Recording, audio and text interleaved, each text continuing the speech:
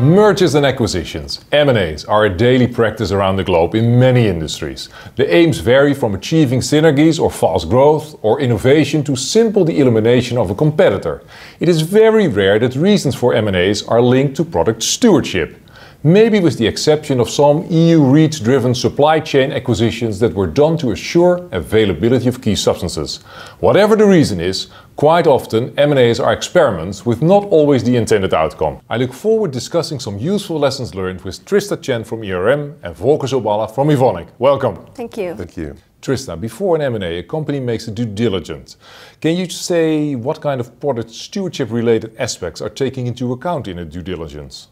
Normally, we will um, not have a lot of access for the seller's information, for example, but then we will use some, some strategic information or questions uh, to evoke the conversation with the sellers, hopefully to get a good understanding of how they manage the product stewardship or they even don't have a management system in place, and then uh, to get a sense of the compliance of the product and chemistry, um, and also understanding what would be the key consideration that should take into the post-integration so what do you mean with post-integration merger? Because the challenge of this specific topics, normally majority of the work in the DD time is actually done post integration from day one. The high level during the DD time, and then the deep dive normally go once the two companies have a certain agreement. Trista, do you think that, for instance, for the Bayer Monsanto merger, all these relevant aspects on product stewardship level and compliance and EH&S issues were taken into account? Unfortunately, we were not involved in that specific transaction, so I do not have the specific information to comment.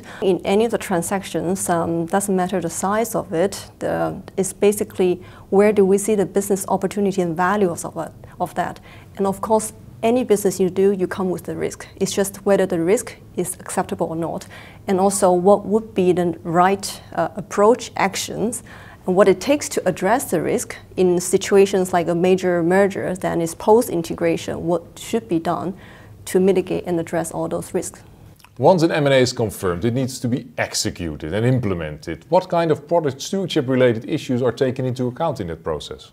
You need very, very uh, detailed information at the end in order to come to the conclusion, okay, we can do this deal also supported by uh, from a product stewardship point of view. And uh, also, uh, do they have the same definitions of polymer, for example? Those can be some tricky areas Absolutely. that al always need uh, special attentions, yeah you have IT aspects, um, but you also have people that have to work together. That's more a cultural aspect. Um, how do you see that?